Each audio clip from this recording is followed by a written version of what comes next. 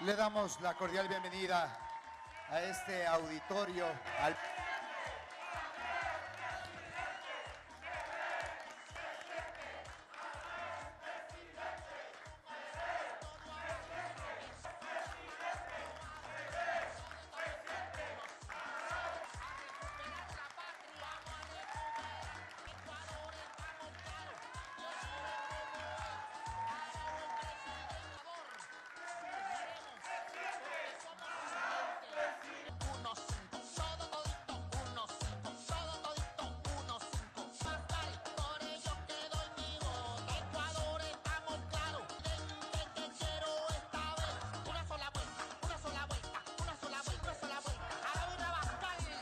De esta manera concluimos esta declaración de prensa. Les estaremos informando por